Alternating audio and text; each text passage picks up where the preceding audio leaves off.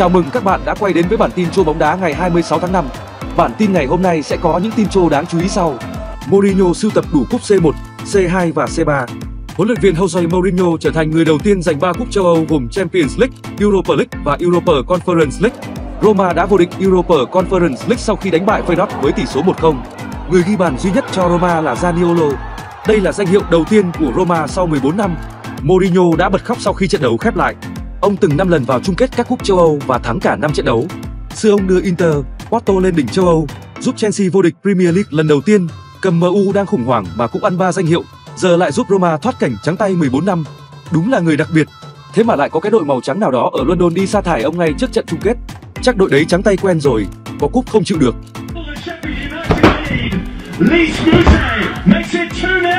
Chính phủ Anh đồng thuận, chủ mới bắt đầu tiếp quản Chelsea. Premier League đã đưa ra thông báo xác nhận rằng họ đã bật đèn xanh cho việc vô lý tiếp quản.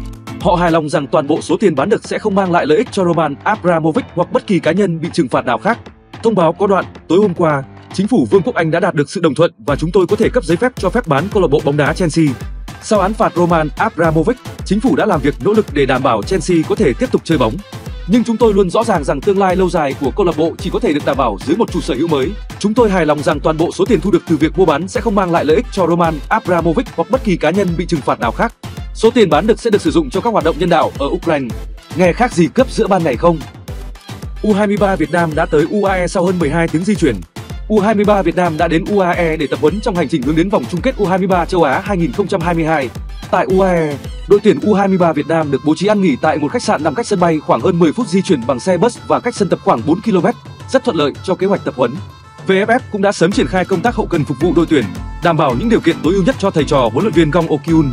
Khách sạn nơi đội đóng quân có bếp trưởng là người Việt Nam nên cũng rất thuận tiện trong việc tổ chức bữa ăn đủ dinh dưỡng và hợp khẩu vị cho các cầu thủ. Tối nay, đội tuyển U23 Việt Nam sẽ bước vào buổi tập đầu tiên tại UAE. Ngày 28 tháng 5, huấn luyện viên Gong Okyun sẽ có cơ hội tổng duyệt lực lượng thông qua trận đấu giao hữu giữa đội tuyển U23 Việt Nam và đội tuyển U23 UAE. Bayern ký hợp đồng với mục tiêu khiến MU và Barca thèm khát.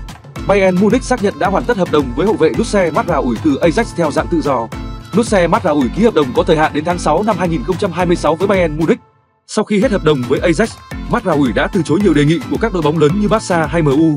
Anh chàng này được đánh giá là mẫu hậu vệ toàn diện và được kỳ vọng sẽ được tỏa sáng tại nước Đức. Như thường lệ, Matraoui lại có ngay một bài văn mẫu khi phát biểu ra mắt đội bóng mới. Tôi có cảm giác thích thú ngay ở cuộc trao đổi đầu tiên với Bayern và rất vui khi được chuyển đến một trong những câu lạc bộ lớn nhất châu Âu.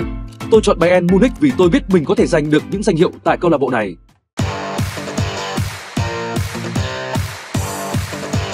Ibrahimovic nghỉ thi đấu 8 tháng, nguy cơ giải nghệ ở tuổi 41. Lão tướng Ibra dù không còn ghi bàn nhiều như trước nhưng vẫn là thủ lĩnh tinh thần, truyền cảm hứng rất nhiều cho đàn em ở AC Milan giành chức vô địch Serie A mùa này. ấy thế mà mới hôm trước còn ăn mừng ngầu lòi với fan, hôm nay Ibrahimovic đã phải lên bàn mổ. Trang chủ của Milan cho biết, chúng tôi xin thông báo Zlatan Ibrahimovic đã trải qua cuộc phẫu thuật đầu gối trái tại bệnh viện Zinc ở Lyon. Đây là cuộc phẫu thuật nội soi khớp và đã được lên kế hoạch thực hiện từ lâu. Chúng tôi buộc phải làm điều này để giải quyết rất điểm tình trạng mất ổn định của khớp gối thông qua việc tái tạo dây chằng chéo trước, cùng với việc gia cố và phục hồi sụn trên. Ca phẫu thuật đã diễn ra hoàn hảo và Ibra cần 7 đến 8 tháng để hồi phục. Anh trung niên 40 tuổi mùa này ghi tổng cộng 9 bàn cho Milan. Hợp đồng hiện tại của Zlatan và Milan sẽ hết hạn vào tháng 6. Bản tin ngày hôm nay đến đây cũng xin phép kết thúc. Cảm ơn các bạn đã quan tâm theo dõi. Hãy nhớ like, share, đăng ký kênh và dùng nút chuông để đón xem những bản tin hấp dẫn tiếp theo. Xin cảm ơn.